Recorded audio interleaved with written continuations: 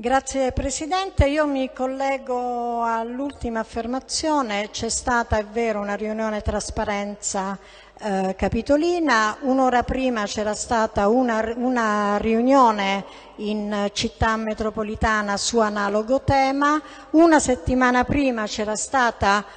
stato un sopralluogo della Commissione Capitolina Scuola proprio in sede, eh, qualche mese prima avevamo riaffrontato il problema, esattamente un anno fa in quest'Aula il problema è stato posto all'attenzione con una mozione poi ritirata sempre a firma di Fratelli d'Italia a seguito tra l'altro di un'altra commissione capitolina scuola precedente alla eh, presentazione di questa mozione. Allora, il problema è un problema veramente sentito ed è un problema che stiamo seguendo eh, da, esattamente da un anno fa. È vero che c'è una raccolta firme, è pur vero che c'è una, ehm, come dire, c'è una richiesta, c'era stata una richiesta da parte di alcuni genitori eh, di mh, spostare eh, di dismettere l'utilizzo di quella, di quella struttura e di quella scuola per una serie di fatti, fatti di cronaca che si erano verificati qualche anno prima.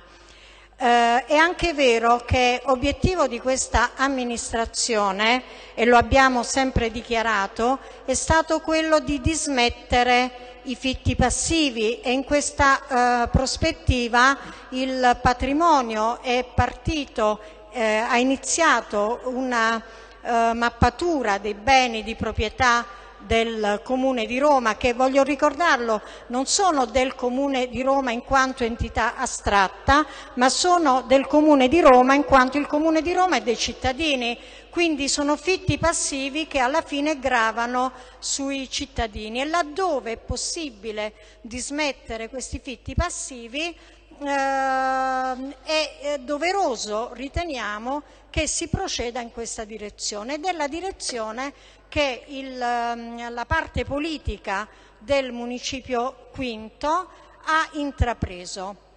Ora capiamo le difficoltà di tutti, capiamo le esigenze degli insegnanti, del, degli utenti, dei bambini e dei cittadini in generale e proprio in questa ottica nessuno dismetterà l'utilizzo di questa struttura se non si creeranno tutte le condizioni idonee a che le nuove sedi eh, identificate eh, possano essere veramente fruibili. E l'impegno che personalmente ho chiesto all'assessore alla scuola del municipio Quinto ed è quello che poi è uscito fuori dalla commissione che abbiamo, ehm, dire, che abbiamo eh, avuto in città metropolitana. Perché città metropolitana? Perché concorrono tutta una serie di attori alla definizione della situazione,